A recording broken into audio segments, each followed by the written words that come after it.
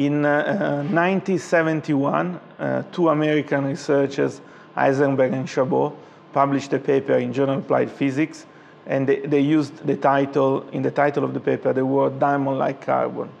As the word say, diamond-like carbon, so it's carbon that is similar to diamond.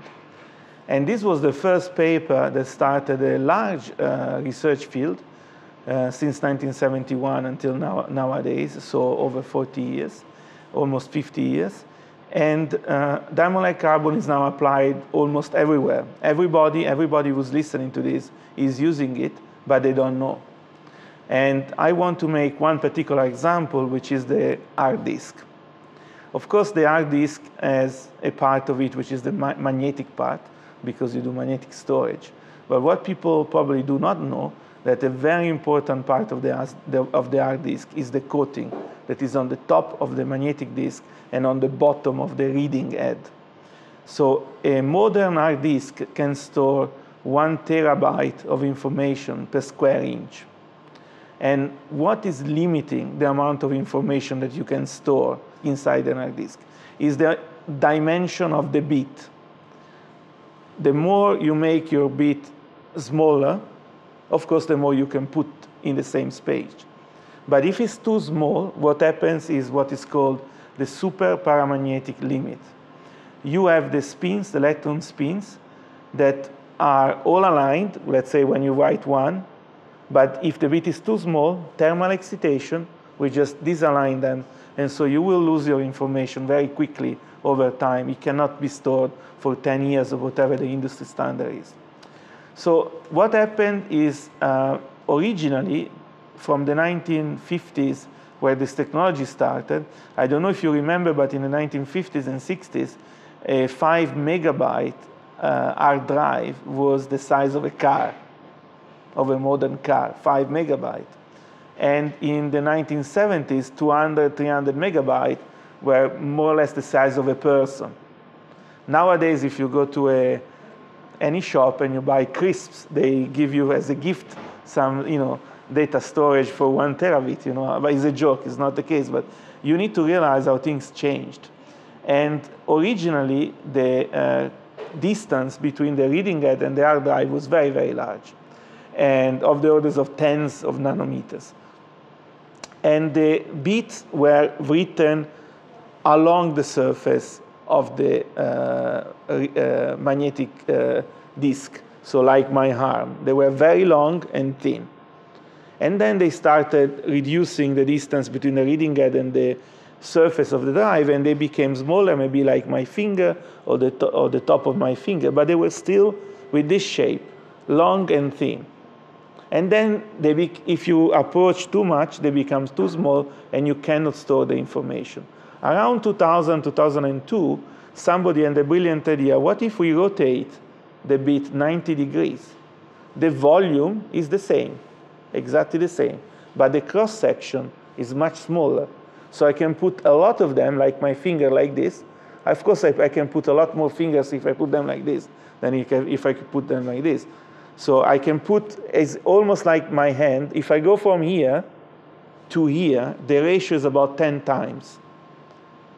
And that's exactly what happens. What, what is called perpendicular recording, I can put 10 times more information on the same space. And that allowed to reach uh, what we have now in the market, one terabit per square inch.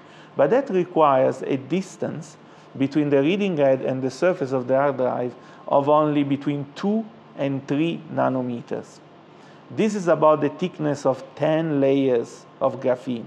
So it's an extremely small distance. On the top of it, the reading head is not kept in a certain position by a piezo mechanism or anything. It's actually literally flying on the top of the surface of the hard drive.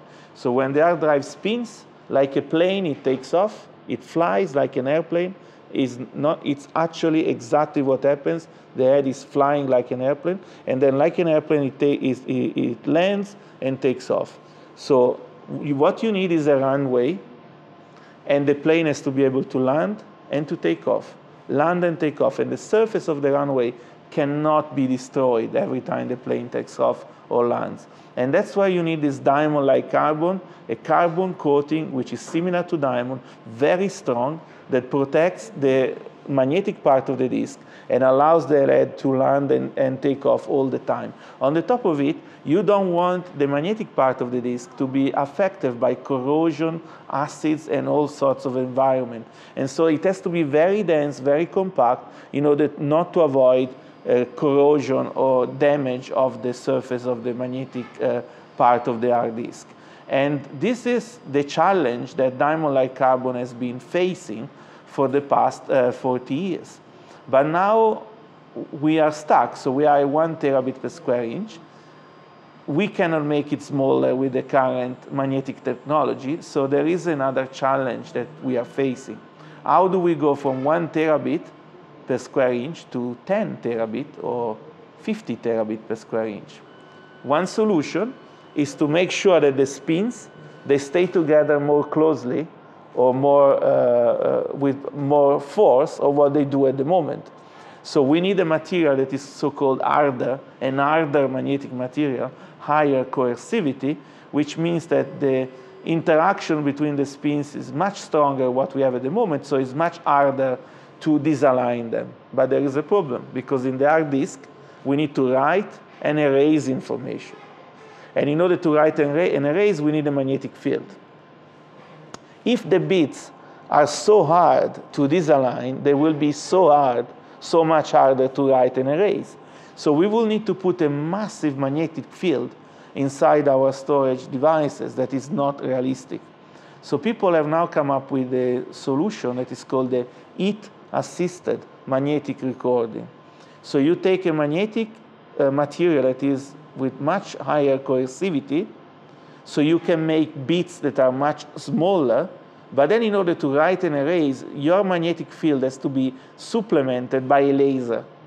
So the laser will hit for a very small fraction of time the surface of the disk. You will be able to write and erase with a small magnetic field, and then it cools down. So now we have a bigger challenge. We need a carbon coating that is survives the high temperature, which can be 400 or 500 Celsius, and at the same time survives the laser, and at the same time is much thinner than two or three nanometers, what is used at the moment. In fact, to achieve more than 10 terabit per square inch, we need below one nanometer, like 0.8 nanometer, which is two, three times the thickness of graphene. So work that is going on at the moment is to try and see if we can substitute the carbon coating that is two or three nanometer thick with only one or two or three layers of graphene. And preliminary results in the labs have shown that storage densities up to 10 terabit per square inch could be reached with this technology. This is something that is not yet on the market, and we expect in the next few years, hopefully, for this uh, heat-assisted magnetic recording technology uh, to, reach, uh, to reach the market and the, and the final application. But of course, there are many challenges ahead in order to achieve this. So this is an example of how this technology of diamond-like carbon that started in 1970s is now present in 1 billion, not million, 1 billion hard disks that are produced every year. Another example that people may not know that Razor blades I don't want to uh, uh, specify what brand, but the major brands of Razor blades have the blade coated with a thickness of about one micron of diamond-like carbon because uh, it improves the performance when it comes to shaving. And another possible application of this material is the coating of uh, plastic bottles in order to store beer uh, in plastic bottles instead of storing it in glass bottles of, or, or, metal bottles. And again, the properties of this material initiated in 1971 are now widely applied. If we look at diamond-like carbon and graphene uh, from the point of view of theory, there's a big difference. Diamond-like carbon is an amorphous material. So you don't have simply two atoms per unit cell like in the case of graphene. So many calculations in graphene can be done by hand or by the computer, but you need to deal with a very small unit cell. When it comes to diamond-like carbon, you need to do molecular dynamics. You need to do extremely heavy calculation with supercomputers in order to understand what is going on. And often you are limited to 60 or 100 atoms that you can study and not even a cell because they're completely amorphous material. So the theoretical challenges in amorphous carbon are much, much bigger than the ones that we have in uh, graphene. And many of them have been left unsolved.